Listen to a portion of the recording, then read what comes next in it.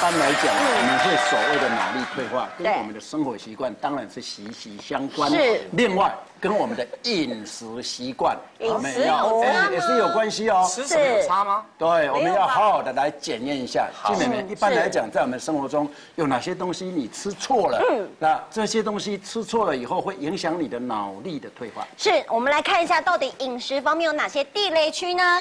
会让我们的脑细胞死光光。首先，第一个搭配组合就是菠萝面包加上蔬果汁。第二个鱼。鱼，少婷最爱麻辣锅。我我我我，锅怎么可能？好，我们一个一个来看好了。有现场谁是最喜欢吃菠萝面包？我我我，艾比喜欢菠萝面包，菠萝面包蛋挞，然后或什么肉松啊、奶酥，我都很爱。而且我每天早上吃宵夜吃，哎。哇！可是菠萝面包，我感觉配上蔬果汁应该很健康，营养均衡的一餐蔬果哎，没错。而且刚刚艾比的表现这么好，我绝对相信菠萝面包加蔬果汁还好。对，菠萝面包加蔬果汁吃了可能会胖。我们可能相信是，那怎么会让脑细胞死光光？不可能，太跳痛了吧？其实大家有没有发现，菠萝面包跟蔬果它都是属于糖分的食物，包括刚刚艾比讲的蛋挞啊，或者是一些奶酥啊，哦，热量超高的。对，其实像国际精神科学呃期刊，它就有针对精致糖分跟神经传导的一些作用做过研究。是，就他们收集了一百多个，大概平均年龄大概是介于快要退休六十三岁左右的一个。对象，但是这些对象他是没有糖尿病的人哦，对，就发现呢，如果他吃过多的这些精致糖类，嗯，对于他的一个血糖会。啊，纤维的一个上升，然后进而会影响到他那个记忆力的一个维持。所以其实这边应该是说，不是只有菠萝面包跟蔬果汁啊，其实一般我们想到的蛋糕、对饼干或者是含糖饮料，我们在临床上也有发现，比如说遇到一些失智的一个老人，其实你会跟家属讨论说，哎，他的一些，因为失智老人最常遇到就是他可能吃过东西忘记了，对对，因为我没吃过，所以我们就会进一步跟他询问说，哎，他平常的饮食是怎么样？其实你一问之下，就发现大部分有这些失智症状的人，都是喜欢吃甜食。哇，那这个地雷区实在太大了。那如果喜欢吃马卡龙更惨了，马卡龙那么甜，对对对，糖分太多。没错，好，那我们来看一下第二个鱼，大家应该觉得感觉很健康。妈妈从小就讲说什么不吃鱼就变笨蛋。对啊，而且我好爱吃鱼哎，而且我很会吃鱼，怎么个会法？就给我可以把它吃的，就像那个漫画里面一样，骨头还是。一整条这样一根一根的都还完整的哦。所以你最喜欢吃哪一类的鱼？我最爱鲑鱼，最爱鲑鱼。鲑鱼像是吃那个生鱼片，鲑鱼什么？鲑鱼重。为什么？可鲑鱼很好，鲑鱼营养价值度啊，鲑鱼哦没有我平常吃有有对吃寿司的生鱼片嘛，我觉得可以吃了三五盘，就是纯鲑鱼。纯鲑鱼，好好吃，爱到这样。那尾鱼呢？尾鱼也吃，但最爱的是鲑鱼。再重。好，我们来告诉。他鱼到底怎么了？对，那要请问一下罗医师哦，真的，吃鱼不是会变聪明吗？怎么会吃鱼反而变笨？深海里面哦，这些属于深海鱼啊，它都是属于这食物链的上端啊，所以它吃到很多这跟汞有关的重金属。对，对，这个是今年龙总这几天发表的，哦，就是说他们发现有一个四十一岁的妇人啊，对，他的这个血汞血液中的汞浓度啊是正常人的五十倍。哦，这么多哈，那正常我们一般来我们血里面的汞啊，大概就是五到十 ppb。那对男生有发表过，就是说吃很多深海鱼，而且经过这种呃血汞浓度很高的，造成我们的血汞浓度高的，发现呢，它会造成不孕跟手会抖，有些神经的症状。最近有一个叫江守山医师，他说他的一个患者啊，五十七岁啊，每天要吃两片的这个。鲨鱼烧，鲨鱼烟，对，外面那个路边摊店很多，对呀，小吃一定两片一定很大哦，所以是应该吃大片。对，他就他吃了没多久啊，这样子长期下来啊，他的血汞浓度也是好几十倍。可是他太爱吃了，两天就要吃一次哦。对啊，所以说他他就忘记他太太叫什么名字了。啊，所以一般深海鱼的话，我们鼓励哦，这个目前的医师建议的，就是说一个礼拜吃一次。好，那因为我们一般的这个旗鱼片哦，两片就超过十天的汞量了。两片，两片，两片啊，一个礼拜。每次去你还吃三盘呢？对啊，一盘鱼都沦陷了。请一下营养师哦，这个鱼因为既然是吃了会变聪明，那现在又说会变笨，那怎么吃才是正确的吃法。基本上除了第一点就是食物的一个就是种类你多元化，第二个就是尽量部位很重要。像刚刚少婷讲的说，哇，整只鱼吃的只剩下骨头这样。对对对对。对，其实一般会在重金属含量比较高的部分，像是鱼的内脏、鱼头跟鱼的眼睛，这种脂肪比较鱼皮，这种脂肪比较高的地方，都是属于重金属含量比较多的，所以尽量要避免。对，尽量要避免。不是胶原蛋白。至于说频率的部分，当然刚罗医师有讲到说，比较大型的重金属含量比较高的，一个礼拜可能最多一次。而一般，因为我们都知道。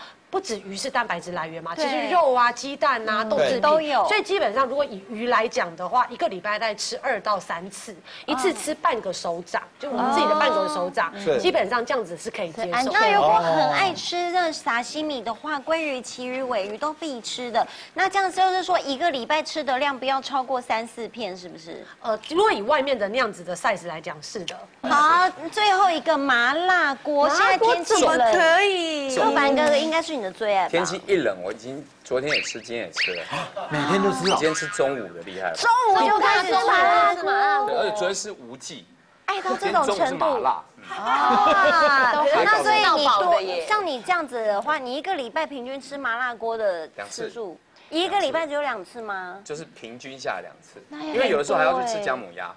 哇。还有加麻油鸡，几乎秋冬这些都是锅类。那你有麻辣锅必点的料吗？麻辣锅必点的料有牛肠、牛哎那个牛筋、猪肠、牛肚哦，牛大肠头，然后半半筋半肉也要，然后那个温体牛也要来。哇，基本上大概就是肉类全餐。哇，感觉非常补哎。对，大部分都我觉得很安全呐，因为。比鱼看起来好多了。不要忘了，我还不知道。鱼，你刚刚你不爱吃鱼？对啊。哎呦，那来看一下，柯凡哥说不定会比较好。对，请一下罗伊斯哦，吃麻辣锅也会让。罗伊斯在笑了，你太险了。而且我很确定我的锅底没不是那种人造辣油。哦，是炒出来的。是炒出来的。哎呦。那我嘴巴很灵。好，所以罗医师，你的微笑意思是？那就强调是说，麻辣锅它本身是一种高油脂、高热量、好高脂肪的。那就是说，因为我们有研究说，一份麻辣锅啊，好大概就是呃十碗白饭，哦，那那两千五百大卡。哦，那就是二十五汤匙的这个油油啦。那你苗条，你算苗条。它是高油脂的东西，我想大家都知道。可能刻板它的这个呃的抽忍是，的容忍度是很高的哈。不过在这个照他这样吃，罗伊斯他算瘦的。对啊。所以他很有压力，他运动量大了。我有运动，三天两头还后空翻。OK。你现在还翻得过去？呃，今天落枕不要闹。是没有想叫你表演了。呃，对啊，那这个我们提到一个美国跟有提到有关于之后说，美国南卡罗来大学医科大学，他有提到说，哎，吃这种高油脂的动这个食物呢，对我们的脑细胞会有什么影响呢？他就用这个十六个月的大白鼠。来做实验，老鼠，老鼠，他来给他吃这种属于呃高油脂的这个饲料。那大家有分呃两组，哦，一个叫做比较实验组呢是百分之十二的高油脂的这个饲料，是。然后对照组就是百分之二就好了，差了六倍。对。那给它连续吃八个礼拜。是。结果发现呢，这种吃高油脂的热量的这个老鼠呢，他就给它做游泳池。哦，做给他让他游泳，把推到游泳池里面。是。可游泳池当中，他给他特殊设计，中间有个休息平台，而且会画指示标，会指示来导引，说那边是可以休息，比较不会溺毙的。对。对，就发现呢，这种吃高油脂的呢，他就是明显的他的记忆力会丧失。他明明记得，哎，那边有个休息平台，就他就呃没办法撑住，他就一直游，继续游，他就忘记那边有个休息平台了。对他明显是超过这个对照组了，就是说他已经对记忆力减退了。对，那这个研究就很好玩，就是说，哎，因为我发现我们吃这属于高油脂的东西，跟我们的细胞、脑细胞呢，就是会有一种叫做类淀粉沉积。好，这个主要脑细胞沉淀，它会发现，在显微镜下会发现我们脑细胞有一些类淀粉的物质，就是我们脑细胞变性、萎缩、坏死的意思。那请问一下营养师啊，是一般我们一般人如果补充什么样的营养分，可以让我们的脑筋更连光？基本上其实呃。我们一再讲人要吃粗食哦，现在的饮食都太越粗越好，对，所以其实对。呃，不论是对心血管的一个预防，粗食很好；对于我们脑力的一个维持，其实粗食也是非常重要。你看，第一个麦片。麦片就是我们指的是原味麦片，因为其实呃不止麦片啊，像一些全谷类这些东西，它里面的维生素 B one 跟叶酸还有烟碱酸这些微量的元素，都是我们脑部需要的啊营养素。所以其实它不只是对心血管好，它对我们脑部的一个呃记忆力的维持啊，或小朋友的学习能力、专注力都有很大的一个帮助。是。而第二个呢，菠菜，菠菜是所谓的蔬菜之王啦，而且现在也是冬天菠菜是最盛产的一个季节。而菠菜呢，其实它里面的维生素 C，还有维生素啊贝塔胡萝卜素跟维生素 E 含量都很高。对。而其实呃科学家已经呃发现了，其实我们会呃很多民众会得到阿阿兹海默症，主要就是因为体内过量的自由基破坏我们脑部细胞。所以，我们吃大量这种蔬菜，它具有抗氧化的一个效果。是。当然，对于我们脑部的一个预防这些疾病有很好的一个功能。而第三个坚果，相信大家都知道坚果很好，对心血管很好之外，它里面一样有一些维生素 E 跟矿物质硒。那当然，对于抗氧化有一定的帮助之外，天天吃。哦，那很棒哦，不能吃太多。油脂，所以量是不能。你怎么那么喜欢吃油？对，我下次吃麻锅烫菠菜。对，人家很吸油哎。对啊，更胖。然后除除了呃就。坚果对于我们抗氧化很好之外，它里面有一个矿物质叫做硼，一个石在一个朋友的硼，它对于我们的一个呃稳定我们脑部的一个电流有一定的功效，所以当然对于记忆力一个稳定。可是也都是不能过量吧？对，坚果不能过量，因为呃基本上其实呃像宪哥讲八颗，其实因为坚果的种类太多种了，有芝麻呀，有核桃，很简单，就是它的量就是一天我们吃的量就是白色的外面的白色塑胶汤匙，那面面都会有的两汤匙。哦，两汤匙，就是不管你是任何坚果也是，不管大小颗。其实真的坚果类还是不能吃太多。有一次看看 DVD 嗑掉三分之一盒，哇，就 Costco 买的那一种啊。那个好大。突然讲到这个，因为之前我们在临床有遇过，就是跟客凡一样，就是也是 Costco 买的那种花生，他一口气就嗑了大概没有那么多，大概五分之一口，就进来医院。独家补脑料理，张克凡瞬间恢复记忆，就直接把这个下去炸，炸哦，其实这样炸煎一下，快，会很快，煎呐，煎一下，对，嗯，好香哦。我想起刚刚那个是六七八零三六九八八七，前面还有一个零三，哎，最后一个，哎，很有效哎，马上料理，马上记得。